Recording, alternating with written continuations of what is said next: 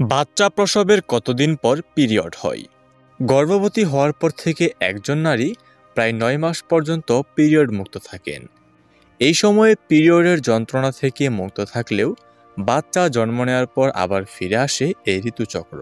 মেয়েরা সন্তান প্রসবের পর প্রথম পিরিয়ড নিয়ে একটু বেশি চিন্তিত থাকেন। আর নিজের ভেতর একটা প্রশ্ন সব সময় কাজ করে, তা হলো প্রসবের কতদিন পর পিরিয়ড হবে? আপনার মনেও যদি এই একই প্রশ্ন এসে থাকে, তবে আপনি সঠিক জায়গায় এসেছেন।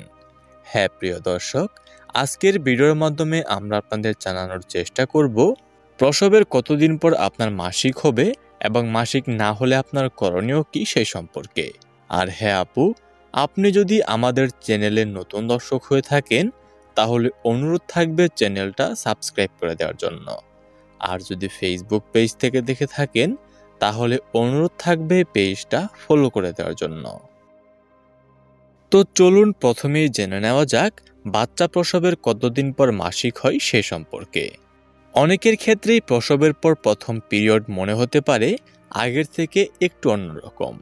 এ সময় অনেকের পিরিয়ড আগে শুরু হয়, আবার অনেকের দেরিতেও হতে পারে। তবে এটা বেশি একটা চিন্তার বিষয় না। সাধারণত প্রসবের ছয় থেকে আট সপ্তাহের মধ্যে মেয়েদের নর্মাল মাসিক শুরু হয়।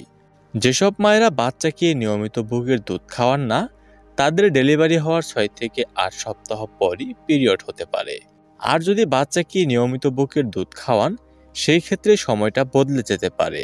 এখন আপনি বলুন, আপনি আপনার সন্তানকে বুকের দুধ খাওয়ান নাকি বাইরের দুধ খাওয়ান? এখন স্বাভাবিকভাবেই আপনার মনে প্রশ্ন আসতে পারে মায়ের বুকের দুধের সাথে পিরিয়ডের কি সম্পর্ক? বুকের দুধ তৈরি হওয়ার সময় মায়ের শরীর থেকে প্রলাকটিন হরমোন নামক হরমোন নিঃসরণ হয়, যার ফলে দেহে প্রলাকটিন হরমোনের মাত্রা বৃদ্ধি পায়, যা ডিম্বস্ফোটনের বিলম্ব ঘটাতে পারে। আর এ কারণে মায়েদের অবুলেশনও হয় না, যার ফলে মাসিক বা পিরিয়ডও বন্ধ থাকে। তাই বুকের দুধ খাওয়ানো কিংবা না খাওয়ানোর উপরও পিরিয়ড অনেকটা নির্ভর করে। একইভাবে আপনি যদি শিশুকে বুকের দুধ না খাওয়ান, তাহলে প্রলাকটিন হরমোনের মাত্রা হ্রাস পাবে, যার কারণে পিরিয়ড তাড়াতাড়ি হতে পারে। আমরা আপনাদের ভিডিও শুরুতেই বলেছিলাম, ডেলিভারির পরের পিরিয়ড একটু অন্যরকম মনে হতে পারে। ডেলিভারির পরে যখন আপনার নতুন করে পিরিয়ড শুরু হবে, তখন বেশ কিছু পরিবর্তন দেখা যাবে। যেমন, আগের থেকে বেশি ব্যথা বা তলপেটের টান অনুভব করা অনিয়মিত ব্লাডিং শুরু হয়ে আবার বন্ধ হয়ে যাওয়া, অতিরিক্ত মাত্রায় ব্লাডিং হওয়া, প্রত্যেক মাসে মাসিক নিয়মিত হতে সময় লাগা ইত্যাদি ইত্যাদি। এখন একটা প্রশ্ন থেকেই যাই, যদি ছয় থেকে আট সপ্তাহে মাসিক না হয় সেই ক্ষেত্রে আপনার কেমন সময় লাগতে পারে?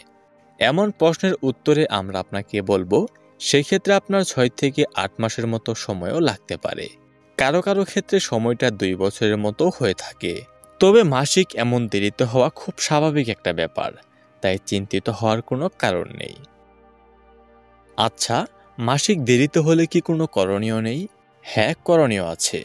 আপনার প্রসবের যদি ৪৫ থেকে পঞ্চাশ দিন পার হয়ে যায় আর তারপরও মাসিক না হয় সেই ক্ষেত্রে আপনারা ছয় মাস পর্যন্ত অপেক্ষা করবেন।